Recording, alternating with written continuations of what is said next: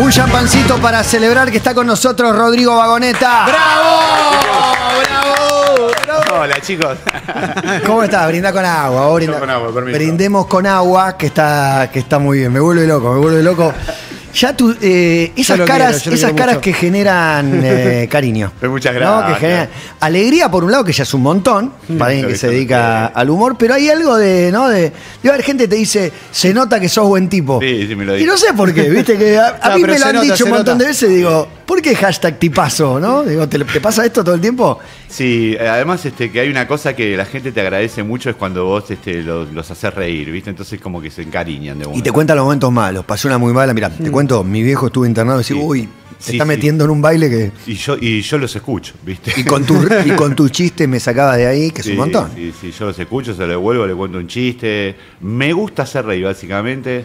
Te juro que me gusta hacer reír. Este... Y vos en, en tus momentos malos, que no es que quiero meterme ahí, pero eh, usabas el humor, o la radio, o series, o libros, o. Digo, no, no por meterme ahí, sino por saber No. qué usaste vos para entender al otro también. Sí, no, a- justamente a mí me- me- mi profesión se la debo a los momentos malos. O sea, Ah. sí, yo era un niño medio triste por una infancia media triste que tuve, entonces yo aprendí que hacer reír al otro era una cosa que me devolvía buena onda y en la primaria hacía reír a mis compañeros y como que vivía medio en una nube, pero ¿Y bueno. cuándo te diste cuenta que los hacías reír? ¿Con una salida chispeante o preparaste un chiste algo No, así? primero, viste, yo, qué sé yo, hacía un relator de fútbol y mis compañeritos se reían, viste.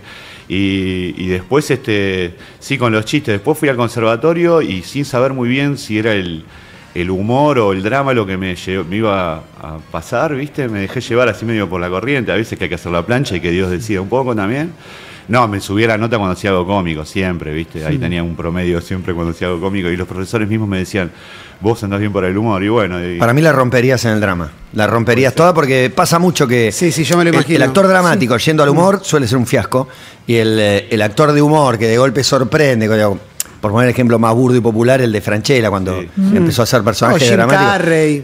Para mí es Sí, sí. espectacular. Y a vos, aparte, es tan el impacto de, de verte, no sé, haciendo a alguien que atraviesa una. Me encantaría, ahora que estamos acá en esta empresa tan importante, que alguien escuche. Si alguien se la banca, viste, un villano. Y, y como papá, porque em, tenés 51, tenés dos hijos, uno de 8 Sí. y uno de 11 meses. Sí. Eh, Impresionante. Qué lindo. Quiero preguntarte, ¿qué onda ser, primero ser papá de un bebito a los 50, pero también, ¿cómo sos con el humor con los nenes? Si sos un papá payasesco, digamos, o si esa faceta no está tanto. Sí, bueno, no está tanto, no está tanto. Pero me vienen a ver al teatro casi todos los días y lo ven a papá ahí payaseando. Vengo a hacer temporada, 60 funciones seguidas y estaban los pibes ahí casi todos los días porque le gusta a mi hijo más grande. Y el, y el bebé no, no molestaba en la sala, así que estaban ahí. Ya es un montón, que no moleste unos 11 meses. sí, Pero tenía prendido a la teta a la madre, porque él. Sí, estaba la madre, bueno, la madre me acompañó, me ayudó a que la temporada salga bien, viste que es un equipo de trabajo que se arma ahí en la familia, viste. Ese es- Fundamental. es Eh, y volantea él de 9, Sí. porque cuando me escribiste, Sí. pues cuando yo estuve en Mar Plata me escribió y me dice, eh, estoy yo en la puerta volanteando de 9 a 12. O sea, Sí. eso yo 9 a no sé, 12. Sí. no sé si es tan común eso, Un pero tu laburo entonces No, es pasa a ser montón. 5 horas casi. Sí, lo Bueno, que- Matías Saleno dijo algo parecido, que se Sí. iba a volantear. ¿no? Sí, Mati hace lo mismo. Este, bueno, yo además de volan- yo lo que hago es vender la entrada. Es, es medio raro todo, porque eh, yo a veces me imagino, me pongo en el lugar del otro y yo digo, para la gente de golpe, imagínate que yo voy caminando y de golpe me venga, no sé, este, Pablo Echarri me venda a la hora de teatro. Sí, ¿viste? es claro, raro. Que venga el- Messi y diga, no querés dos entradas para ir a Claro, el de claro. Miami. Yo me pongo, no soy Pablo Echarri, no, pero digo, este, es raro. Y la gente se me queda mirando y me dice, uy, vagoneta. Sí, chicos, mira, te cuento, eh, el show es 12.15. eh, te- hoy está eh, Brian Sarmiento, Soledad Bayón, está buenísimo, tiene imitaciones. can- Yo sigo con el, viste, le, le hago la venta. Prendés, prendés Sí, y sí. arranca. Pero eh, si haya dos personas o espera que se junten 10 para No, no, no, de a dos, de a dos, de a dos es mejor, porque les digo, mírense si son un matrimonio. Vamos. Y la mayoría me decía, dale, oh, iban a comprar churros y terminaron viendo un show. Entonces creo que es otra cosa totalmente distinta a una organización. Estás de- haciendo un montón por el teatro. Sí. Ya no solo por vos, ¿viste? Como llevando público de a uno. Sí, y me gusta, te digo, te tiene que gustar, porque yo le decía, a, por ejemplo, a un compañero mío, que- que él es el que me tiene que ayudar también, un imitador que también es artista y también vende para el show, yo le decía, hay veces que uno, viste, está con las fotos y, y la gente que viene y te abraza y todo, y, y hay veces que hay que estar de buen humor, hay que entrenar a la paciencia. Porque siempre hay alguno que te dice algo, ¿viste? Me voy a sacar la foto con este boludo, ¿viste? Sí, sí, sí. ¿Quién Claro, es? claro, ¿Y claro. ahí qué onda? Y bueno, pero siempre hay uno, un loco en la vida, ¿viste? No, pero debe pasar mucho con las tuitea, parejas. ¿viste? Recién vi al boludo, de, como contaba Julián Güey. Sí. Estoy con el boludo de Julián Güey. Media hora sentado al lado y no me dijo nada. Igual me imagino mucha pareja, porque esto es muy común, no por vos, pero en general, el chavo, "Boludo, vamos a ver a Sí, Rodri", me- y todo el tiempo. Y a mí no me gusta más la no sé. romántica. Como... Sí, yo quiero todo el tiempo, todo el tiempo. dice. Como que el sistema operativo del hombre le gusta más los chistes. Yo me perdí después de mucho tiempo eso. No sé, digo que no, no digo que esté bien o está mal, ¿no? Pero capaz que para, para las mujeres a lo mejor no, viste, no me entienden o dicen, este es medio boludo, pero yo no importa. Pero pone tu En- mujer, cuando sí. le contás, ¿probás No, los chistes con ella? Sí, los pruebo, pero mi mujer es otra cosa porque ella está tratando de jugar en equipo conmigo y yo a veces cuando veo lo de Guido así le pruebo los chistes y me dice, está bien, está mal, viste, no, Lo- está como en el equipo mío, digamos, no es Somos de la misma imparcial. Es analiza, analiza no, es público. Claro, no es, público, ¿viste? Pero después cuando terminaban de ver el show, este, se iban contentas las mujeres también. Yo en el Instagram tengo, es algo raro, tengo el 87% de hombres que me siguen. Es raro eso, ¿viste? ¿Por qué raro? ¿Por qué Porque raro? nos encanta. Porque se ve que al hombre le gustan más los chistes, porque viste que yo en el Instagram tengo todo, casi todo es contenido de Mm. chistes, de, viste, de cosas así cómicas, no sé. En, pa- en pandemia me acuerdo que una vez le hice una nota en la época del peor del encierro y empezó a tirar chistes con la carpeta. Todo por Zoom. Traje. Y después, y después me empecé a buscar, a buscar cosas en YouTube y fue como de los mejores días de la pandemia. Qué buena onda. ¿Podemos ir a la carpeta? Sí, Sí, porque yo estoy- la verdad que estoy contento porque yo gracias a esta carpeta este verano pude, pude hacer temporada de Mar del Plata y, y- y el público llenó mi heladera. A mi heladera le habíamos puesto el lunita tucumana porque alumbra y nada más. compramos los caramelos, en casa somos tres, compramos los caramelos media hora, le chupamos 10 minutos cada uno. Son de actualidad eso. Sí, sí. Dice, ¿cómo te, llamas? ¿cómo te llamas? Dice, Caro. Dice, como la nafta. Hoy fui a la verdulería, 6 lucas el kilo de cebolla. Es la primera vez que lloro antes de cortarla. O el, tipo que va a la roticería y dice, ¿qué tal? ¿Cómo le va? Dice, ¿tiene empanadas? ¿Y cuánto valen? 1800 pesos. ¿Viste? Es un chiste que fui actualizando en el verano, lo fui actualizando porque Por si no, no era creíble, ¿viste? No, cada dos días no te voy a actualizar. Entonces se ve que al tipo no le alcanzaba la guita y se va, viste, cuando mira así para el horno que estaba saliendo, había el horno abierto, una empanada media quemada, toda chamuscada en el fondo del horno, vuelve y le dice, disculpe señor, esa empanada que se ve que se la olvidaron, no sé, que está ahí en el horno, que ya capaz que no le puede ni vender. Dice, sí. Dice, ¿esa cuánto me la deja? Dice, bueno, se la dejo a 500 pesos. Perfecto. Dice, ¿no me quema cuatro?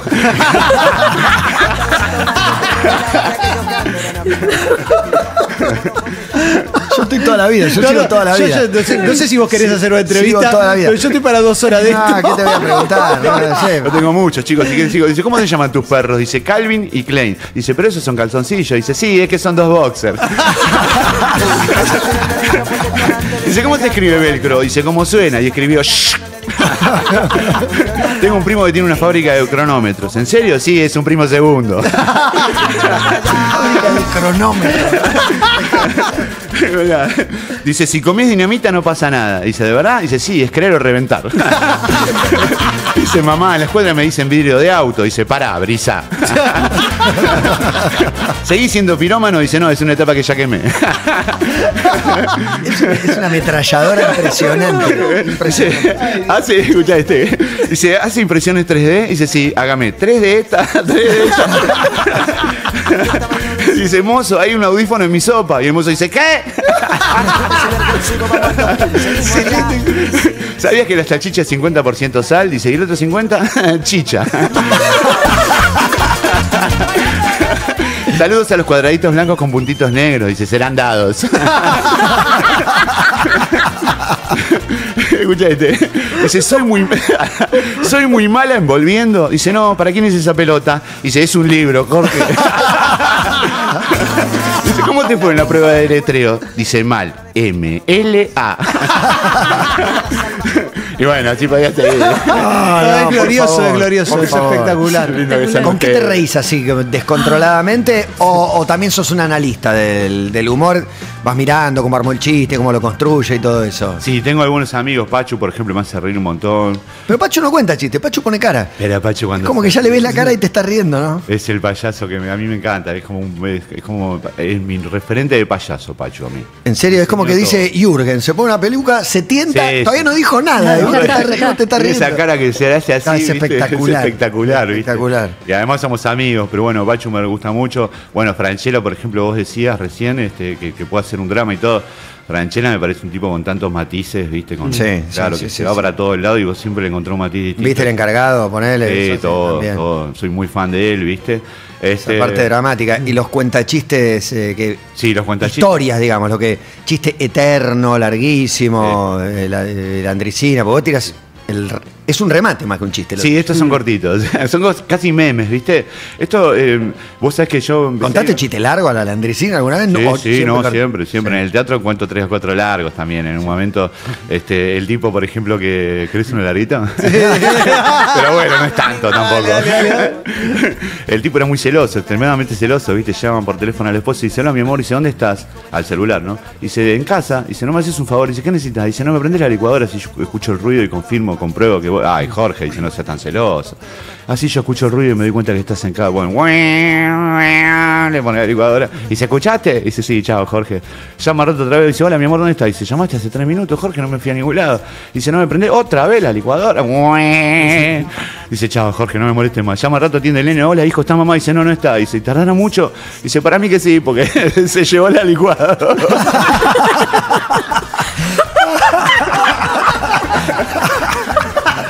Ah, muy bueno, muy bueno, es un fenómeno. Lo nombraste, lo- es que lo nombraste, lo nombraste y se Ah. materializó. Lo llevo siempre en mi Lo corazón, invocó. todo el tiempo. Lo, Lo invoco. manifestó, lo sí, manifestó. una invocación tremenda. Sí, porque lo amo y va- me dio una mano muy importante en mi carrera. La risa de él fue muy linda para mi carrera en las redes y todo. La, la aprobación de él, ¿viste? Para mí me, estoy muy feliz de, de haber trabajado en Bienvenido Sabor. No te emocioné, que el humorista no tiene. Ah, no, el payaso triste, ¿viste? Yo cuando salgo a saludar es el momento que sufro, porque no salgo con un personaje en el teatro, salgo de mí. Entonces sufro, me tiembla la mano, me pongo nervioso. Claro, Te sos un- emociona- sos un está- tímido. ¿no? No, y, Sí, re, ¿eh? y estás atrás de la máscara, es como. Claro, te cuidás en la máscara, ¿viste? medio protegido, Este, pero bueno. pero ¿te emo- bueno. ¿Sos así de, de emocionarte todo el tiempo y fácil? Bueno, este. ¿O no? O- No quiero meterle mucha responsabilidad, por ello repasó recién, pero cuando alguien te cambia la carrera, viste, te, te- te producen cosas Claro, adentro. Claro. me pasa también con Marcelo, me pasan con, con Sofoy, me pasaba, viste, cuando alguien te cambia la carrera, porque ellos a mí me, me cambiaron la carrera por, con la aprobación ¿Pero de cuántas ellos. veces cambió tu carrera, güey? Un montón. Trabajé con los mejores.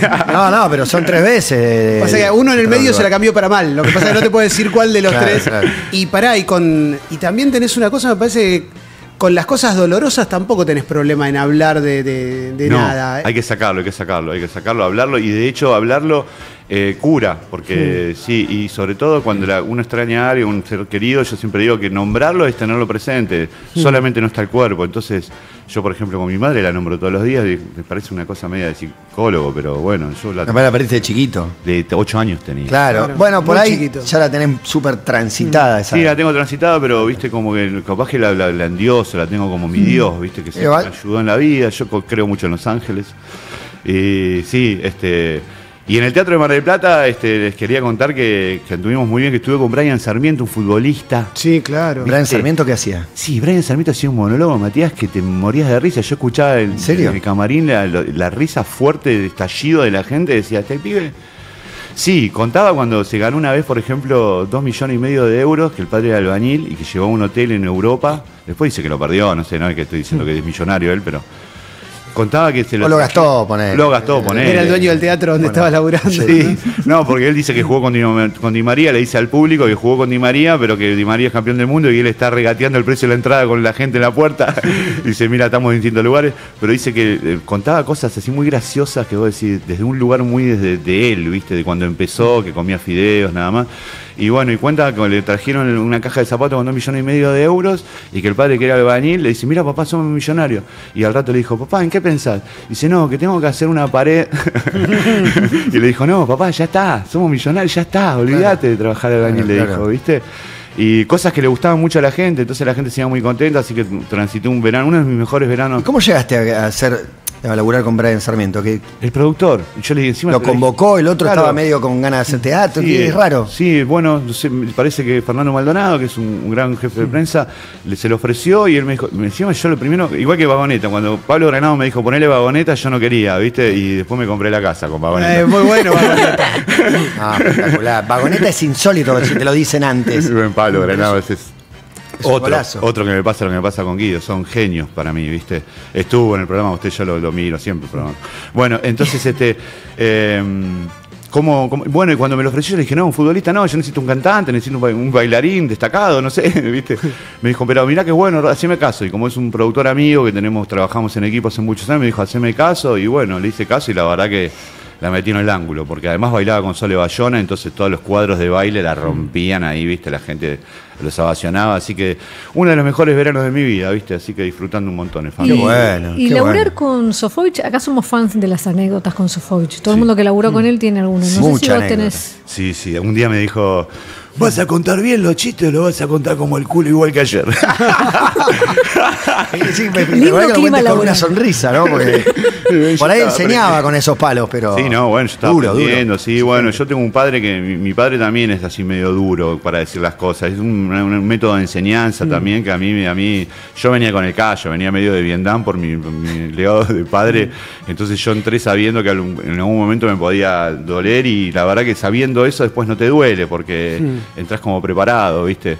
Este, no, me causaba gracia, me causaba gracia. Y después te tiraba una mala y una buena. Después me decía, sos un hijo de puta.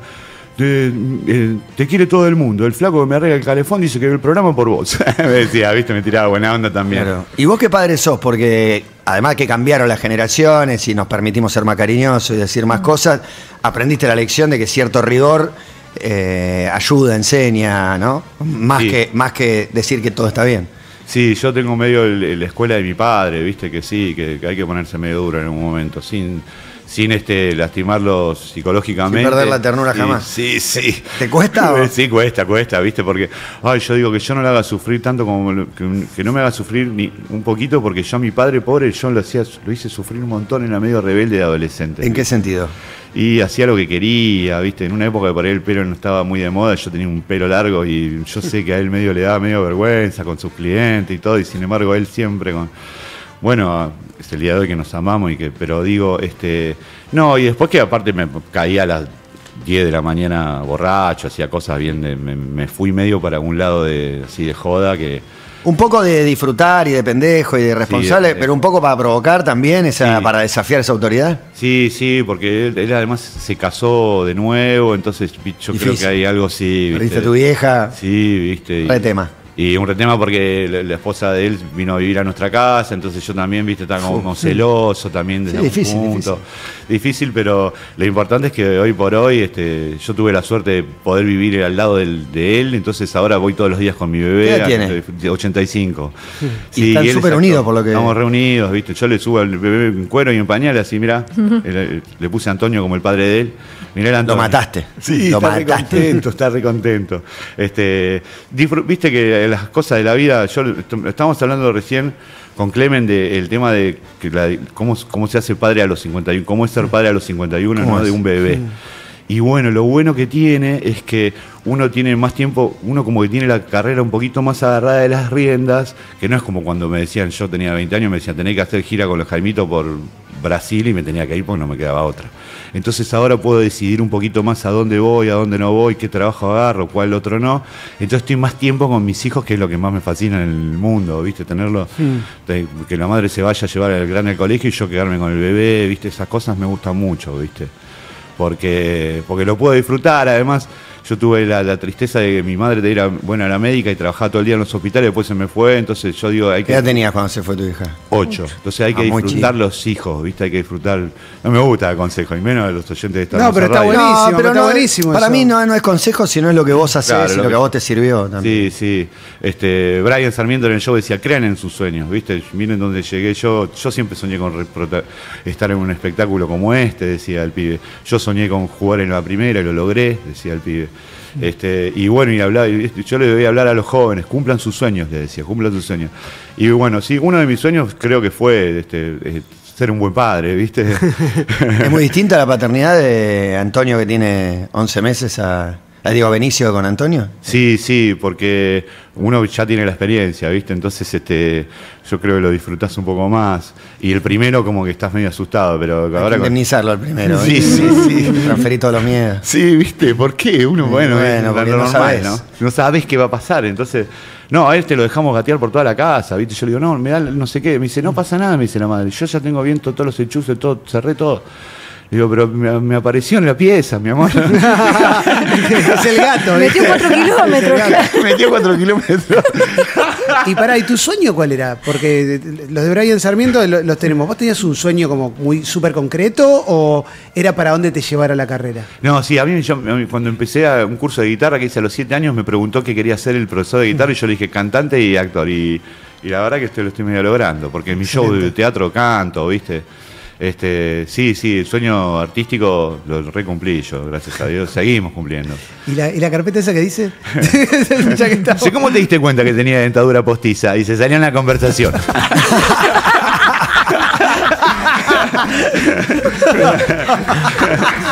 Porque, Ese es mi favorito. Excelente, excelente. dice, ¿por qué, ¿por qué en los cementerios no se escucha música fuerte? Porque retumba. Escucha, te dice, la carpeta, la carpeta. No, tengo es dos carpetas. No, no, la carpeta me vuelve. Carpetazo. dice, ¿qué hiciste con la plata que ganaste en el concurso de roller? Dice, me la patiné toda.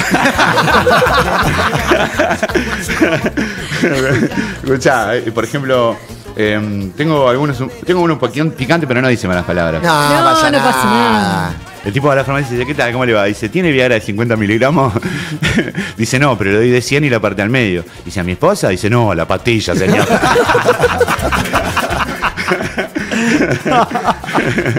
bueno, después este, tengo algunos que son para chicos, ¿viste? También los cuento en el teatro, por ejemplo.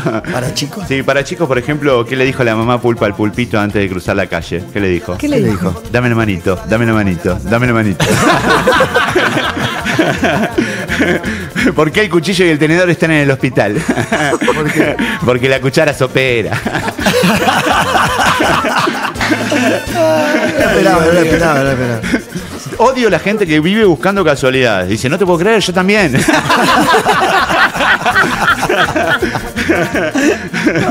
Dice, acá es el curso de cómo aceptar el rechazo. Dice, sí, pero lo siento, no hay más vacantes. Dice, apa, arrancan fuerte. ¿eh?". Gracias, chicos. Gracias, Rodri. Gracias no sé si estamos usted. chiveando o falta chivear o simplemente estamos felices de haber vuelto de la, la temporada. ¿Cuándo terminó?